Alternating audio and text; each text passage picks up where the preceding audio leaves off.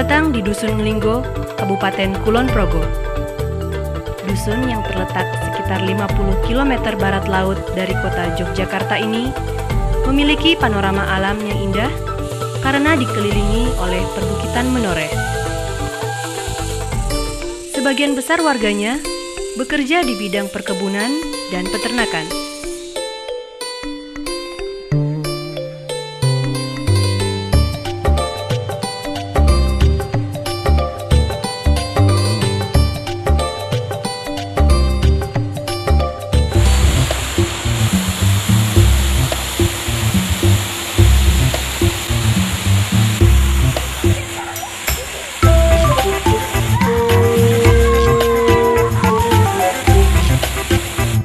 Selain alamnya yang indah, Dusun Ngelinggo juga memiliki kesenian tradisional turun-temurun. Kesenian lokal tersebut adalah Lengger Tapeng. Lengger Tapeng merupakan tarian lokal yang telah ada sejak awal abad ke-19 di Dusun Ngelinggo. Salah seorang penari Lengger Tapeng adalah Riris Awaludin.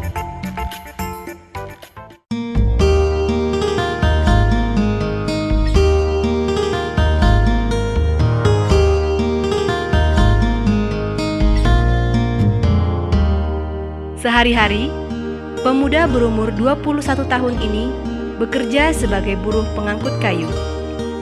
Ia telah tergabung dengan Lengger Tapeng sejak usia SMP. Lengger Tapeng adalah sebuah kesenian yang tradisional dan tidak ada yang lain mas.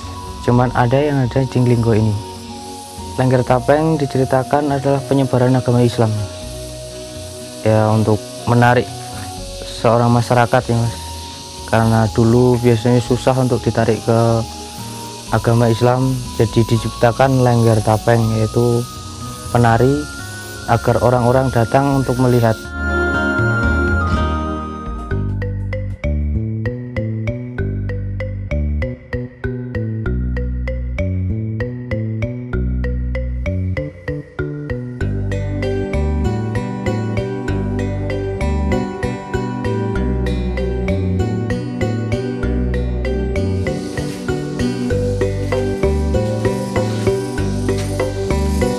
Iya, kita sudah sampai rumah Bapak Marlan, yaitu tempat penyimpanan peralatan lengger tapeng yang ada di Glinggo. Ini musiknya, peralatan musik, ini topeng yang ada di Glinggo. Ini adalah topeng babat kencang, yang berarti topeng ini bisa dibilang seperti raja. Ya, topeng ini gagah, perkasa, sekuat seperti kuat tenaga gitu. Oke. Terus yang ini. Ini namanya topeng Gondorio. Gondorio adalah sesosok panji yang menari mengiringi seorang bidadari. Ya. Untuk yang ini. Seperti cewek tapi ini laki-laki. Nah ini tariannya sung sangat halus. Seperti wanita gitu. Ini juga menari mengiringi seorang bidadari tuh ini topeng anoman yang berwujud kera yang juga mengiringi seorang putri atau bidadari. Ya gitu. Terus yang ini ini bangomate berwujud burung yang menari mengiringi seorang putri pun juga ya yeah.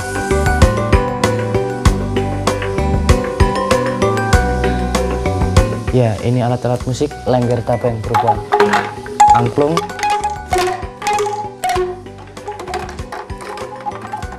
dan gendang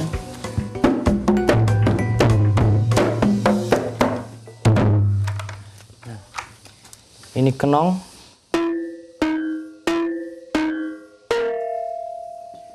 Dan ini gong.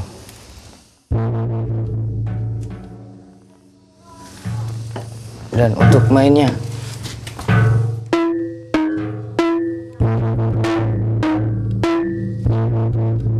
Ya gitu. Ya sebagai penerus lengger tapeng masa sih mas? Orang tua-tua yang ikut-ikut yang muda enggak. Nah mungkin juga panggilan hati mas. Karena suka dan salah satunya kalau saya pernah tuh dengar suara kenong mas. Itu rasanya kemitir pingin cepet-cepet ikut mas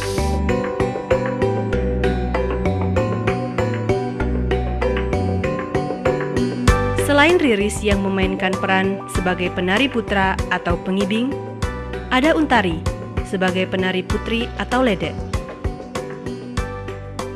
Untari yang berumur 26 tahun ini adalah seorang ibu rumah tangga yang telah memiliki dua putra. Ia baru tergabung dengan Lengger Tapeng sejak lima tahun terakhir. Karena dulu, ledek dimainkan oleh penari putra yang berdandan layaknya perempuan. Akan tetapi, sejak beberapa tahun terakhir, ledek dimainkan langsung oleh perempuan.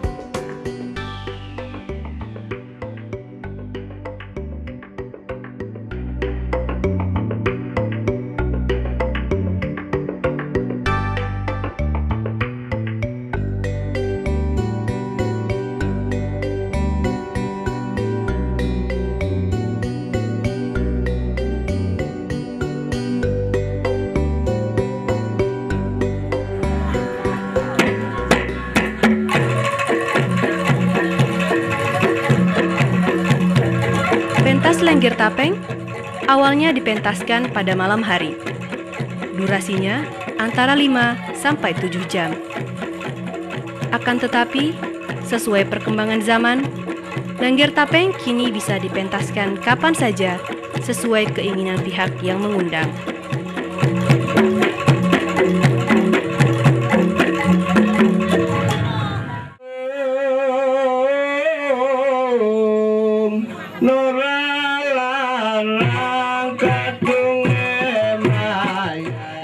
Dalam Lengger Tapeng, para penarinya memakai busana adat Jawa. Secara khusus, para penari putra atau pengibing diharuskan memakai topeng. Itulah mengapa kesenian ini diberi nama Lengger Tapeng. Dalam pementasannya, Lengger Tapeng di Dusun Linggo terbagi ke dalam tiga babak, yaitu babak awal, tengah, dan akhir.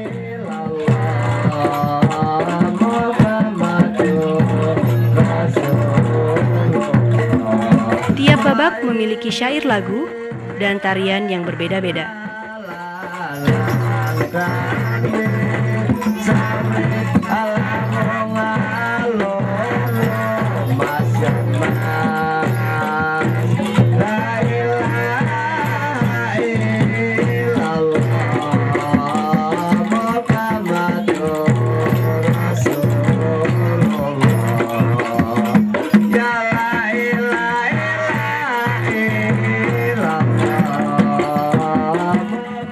Keseluruhan pentas Lengger Tapeng tersebut ditujukan untuk dakwah agama Islam, sekaligus upacara adat untuk melepas nazar atau naunggati.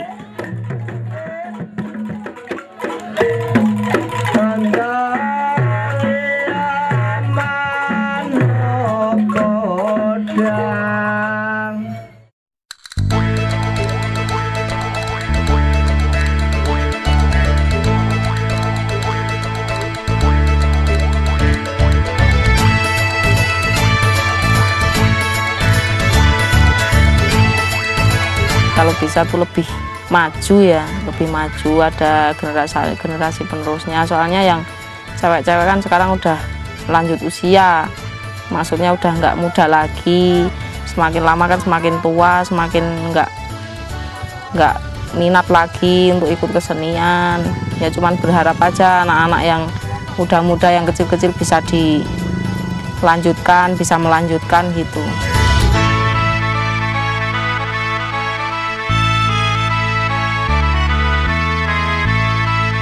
Pada akhirnya, Lengger Tapeng di Linggo merupakan bentuk penghormatan masyarakat terhadap nilai-nilai lokal agama. Masyarakat mempercayai bahwa pementasan Lengger Tapeng akan membawa kedamaian lahir dan batin, tidak hanya bagi mereka yang memiliki hajat atau nazar, melainkan juga bagi seluruh masyarakat Linggo pada umumnya.